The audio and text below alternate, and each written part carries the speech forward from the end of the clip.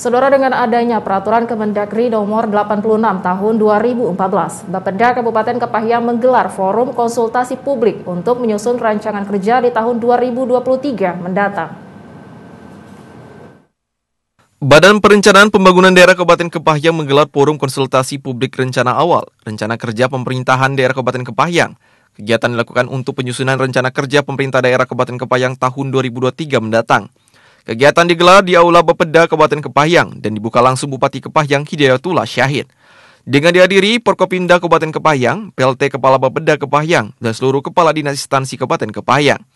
PLT Kepala Bapeda Kepahyang Hartono menyampaikan kegiatan dilakukan mengikuti peraturan Kemendagri nomor 86 tahun 2014.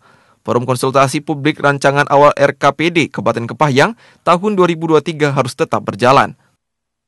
Pada hari ini sesuai dengan tahapan dengan peraturan Menteri Dalam Negeri nomor 86 tahun 2014 itu bahwa tahapan untuk RKPD itu tahapan awalnya rancangan RKPD untuk tahun 2023 maka kita lakukan pada hari ini. Sehingga nanti tadi disepakati itu untuk kegiatan-kegiatan di tahun 2023 itu sudah ditentukan temanya Hartono menambahkan sasaran prioritas daerah meningkatkan pertumbuhan ekonomi berbasis sektor unggulan daerah, terlaksananya upaya pemenuhan infrastruktur dasar dan infrastruktur strategis, meningkatkan kualitas lingkungan hidup dan mitigasi bencana, meningkatkan kualitas sumber daya manusia, dan meningkatkan birokrasi tata kelola pemerintahan.